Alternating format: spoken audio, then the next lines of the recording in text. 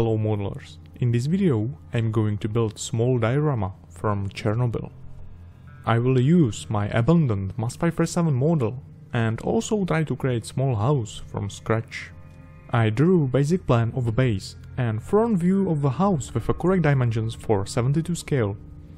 I start with walls. I will use for the whole structure only basic materials, like this balsa wood, styrofoam for base and aluminum metal sheet for the roof.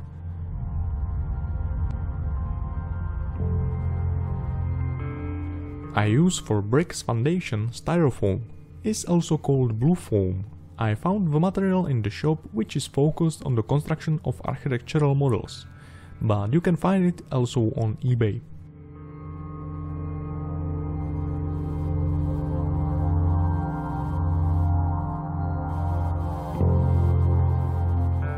Now I'm creating bricks texture.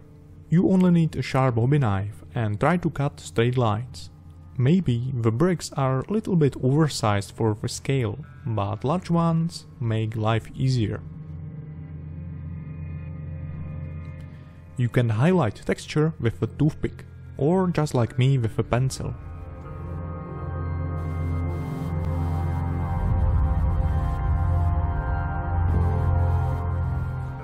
For cutting balsa wood is handy razor saw with which you can achieve clean cut. It is definitely better than my first try with the windows and dull blade.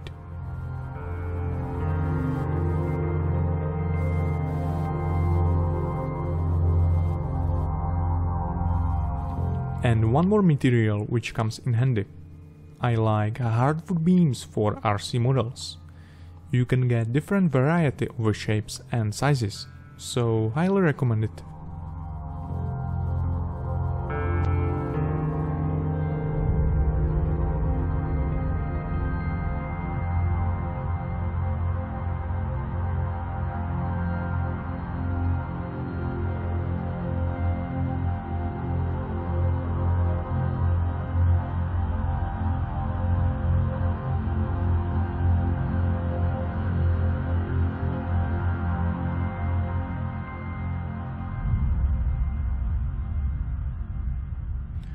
So the basic construction is done. I glue it to the foundation with a PVA glue and fix position with metal pins for wooden ship models.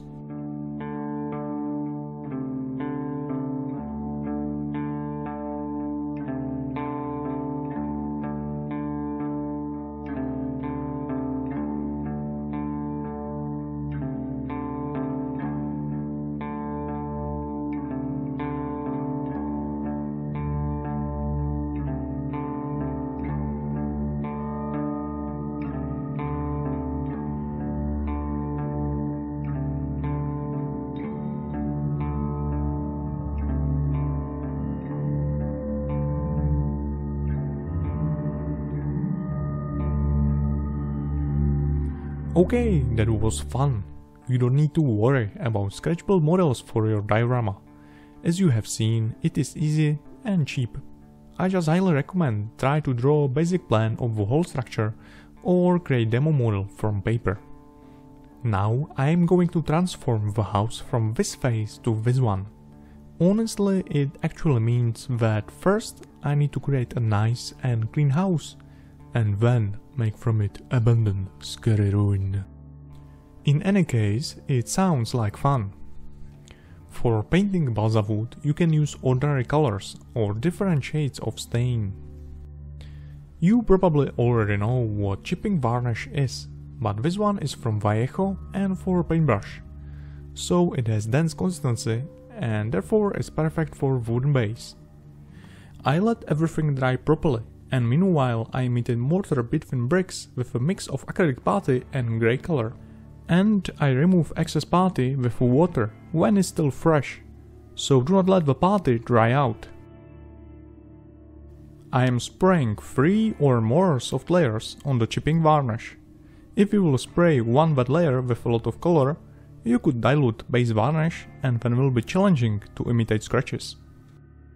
Also, chipping does not work very well with latex-based acrylic colors like Vallejo or Citadel. but the base is from wood, so that I can use some sharp tools for this purpose. I told you at the beginning that I will use some aluminum foil for the roof. However, I need corrugated iron and I seriously wonder how to do it. But MacGyver skills are always handy, so I glued cheap and old drill bits on the plastic board with a super glue and then carefully create each peak and valley with another drill bit. And you can get material from Beer Drinken. But if you accidentally visit Czech Republic, do not forget to buy typical Czech condensed milk in tube. The tube is made from thick but soft aluminum foil and therefore is perfect for models. So the color is dry, thus now I'm diluting base varnish with ordinary water and removing top white color.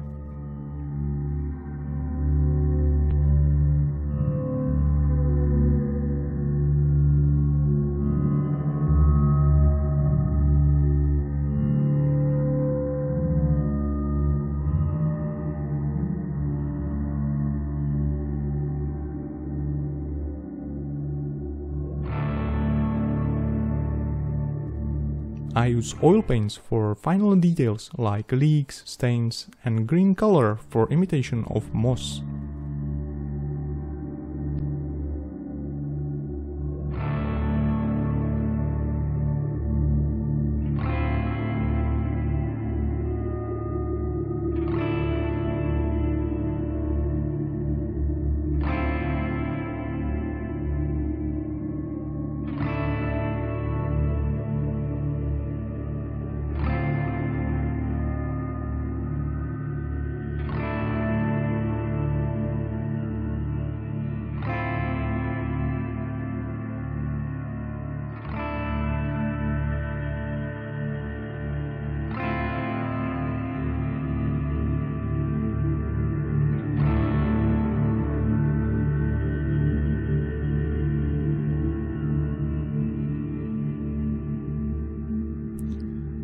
The advantage of a roof from metal is that you can easily create realistic damage.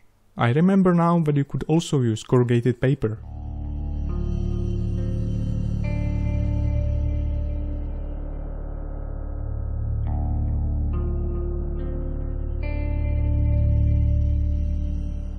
I am spraying base color with a dark grass shade and again chipping varnish, but this time is pre-diluted for airbrush.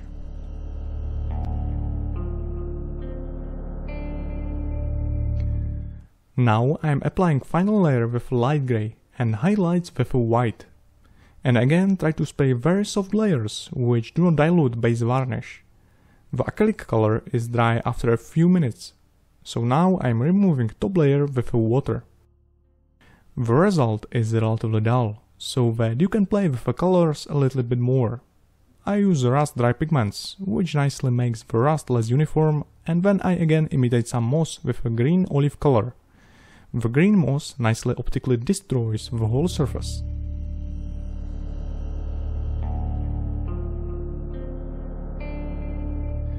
So this is the result. Or not. The abandoned houses are usually covered with vegetation. I use this laser cut ivy. It is for 35 scale, but inside are also small leaves, which fit for 72 scale.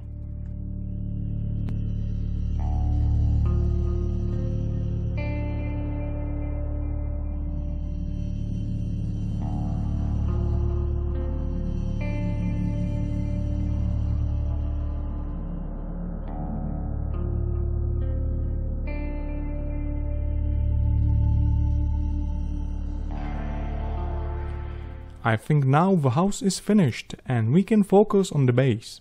I use for base extruded polystyrene, it is similar material which I used for base foundations, but less soft and stronger. I am trying to create terrain just a little bit uneven with a packing knife. One of the major theorems of the excellent diorama is antisymmetry. Therefore I chose the position of the house to the angle and pick a place for the track not symmetrical with a base and house. If you saw my previous forest diorama, you probably already know that I used, for terrain, clay from DAS. I found it very useful, it dries on air, and you can smooth surface with water.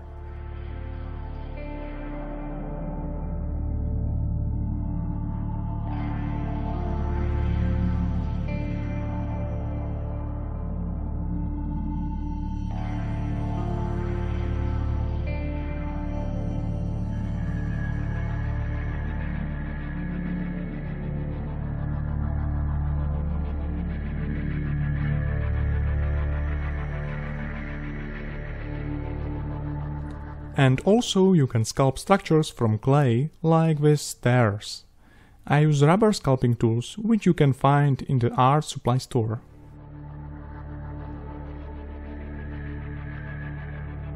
I use for frame my favorite balsa wood.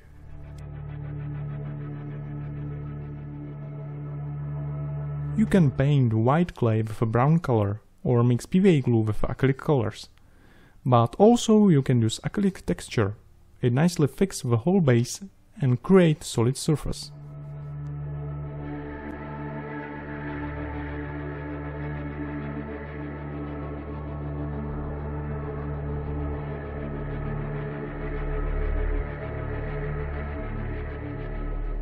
I sprinkle soft sand and push to texture small stones.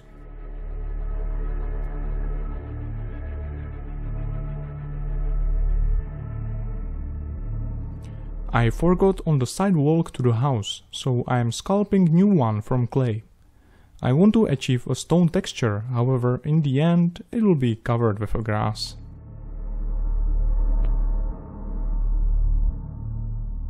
Now the funny part, vegetation.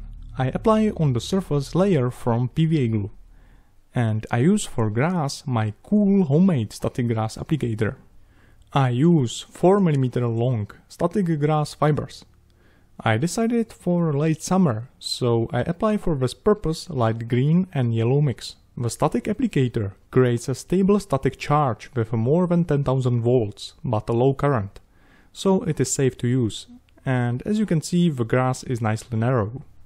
But too much uniform, it looks like an English lawn. Therefore I change this field with a sweet dry grass and longer 6 and 12 mm static grass.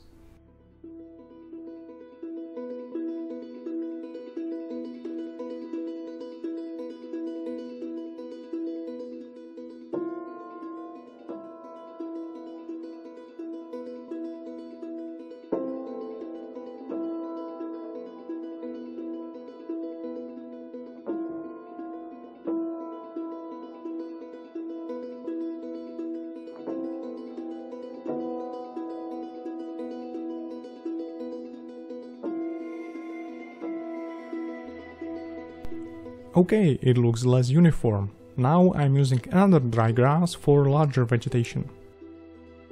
Also is handy dry moss. This moss looks like a small conifer tree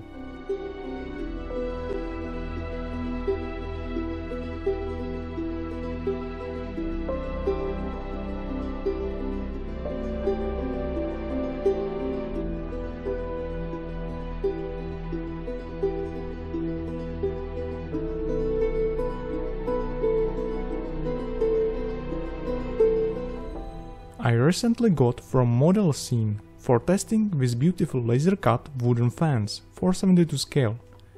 You can cut your own from balsa wood, but this one looks a little bit better.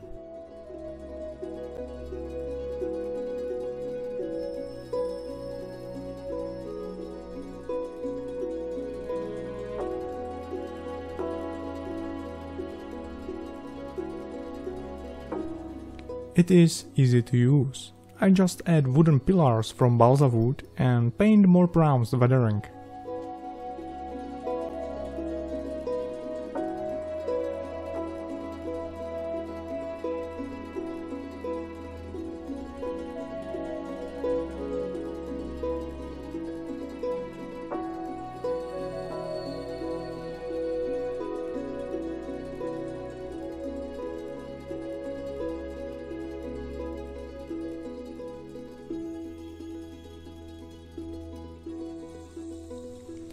You probably think that the diorama looks very dry. And if so, I agree.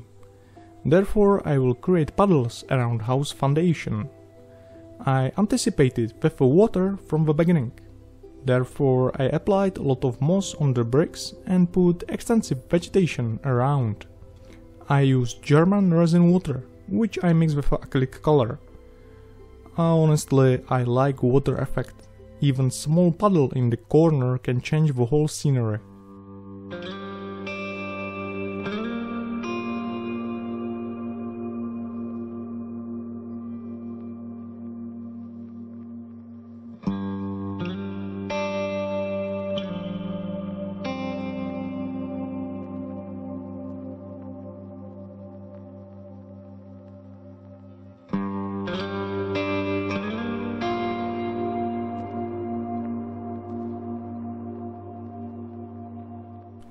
I applied a lot of natural materials, so now I create final vegetation from photo parts. I like with small nettles or reeds.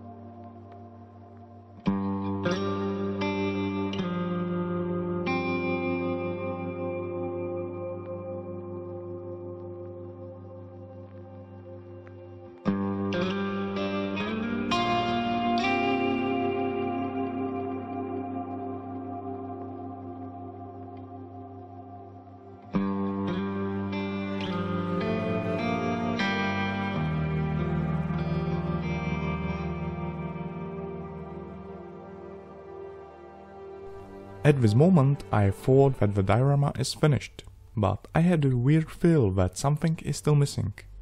I looked at a few images from Chernobyl and I found the details. I think cool is this typical yellow radiation warning sign. I create a new one from plastic sheet and metal wire. If you don't have a steady hands, you can print side with a printer and glue paper on the plastic with a PVA glue.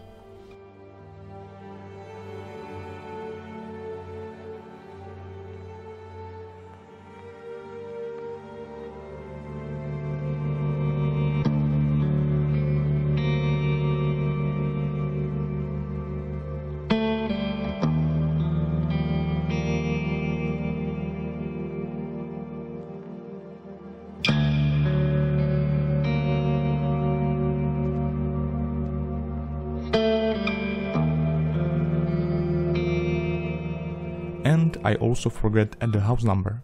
Sometimes proper photo documentation is convenient. I am mostly trying with each diorama a lot of experiments, because I started making this type of models just recently. I want to imitate spiderweb. I tested some chemicals and I use Revell glue for this purpose. If you want to spray fibers with an airbrush, you can use hair volume or crackle medium.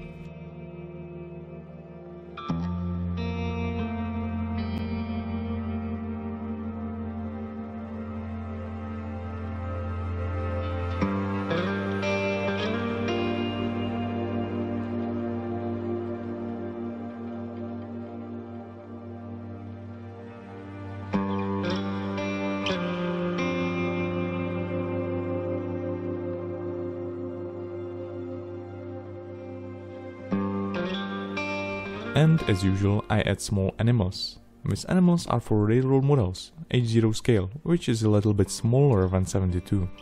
I also wanted to add stalker figure, but I think the human figure could destroy the whole abandoned atmosphere, so I will rather create another post-apocalyptic diorama.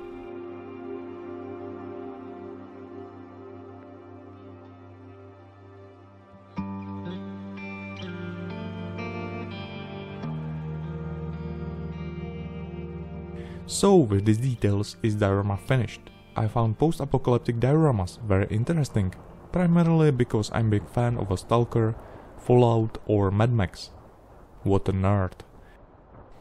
I hope you found some steps useful, and as usual, thanks for watching, and see you next time.